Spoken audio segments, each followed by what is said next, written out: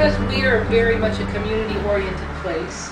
Um, We invite, don't solicit, but we invite people to participate in this whole, not here, but downstairs in this whole venture, this wild, crazy experiment called the Creamery.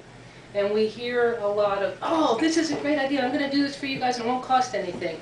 And a few thousand dollars later, yeah, it was a good idea. But Sue had a great idea, and she said it wouldn't cost anything, to have this be a, a piece that she can begin working with to show other people in the, in this area that this is a viable form of, of wind power for our geographic location.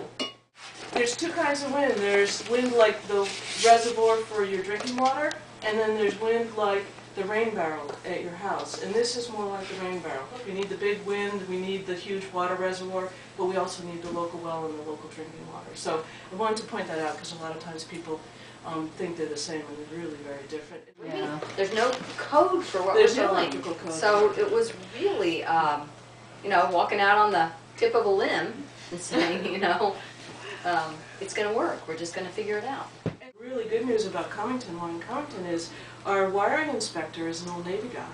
And he worked with DC Power, so in business, it's really a group of volunteers. And it's people who have expertise and donate their time and process to, um, to the organization.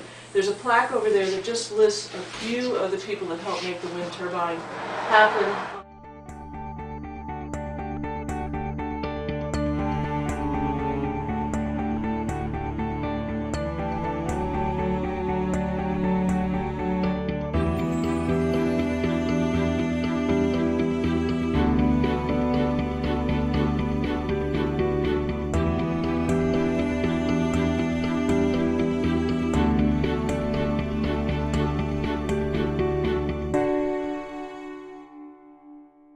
Invite people in, we want people to poke around, we're trying to get some of the universities involved so that we can take the design and see how it really works in New England. Um, someday, guys don't listen to this, we hope to get a donation of solar panels to wire it in so that it becomes a hybrid system. Okay. And when, when we say, we're gonna say one, two, three, go. One,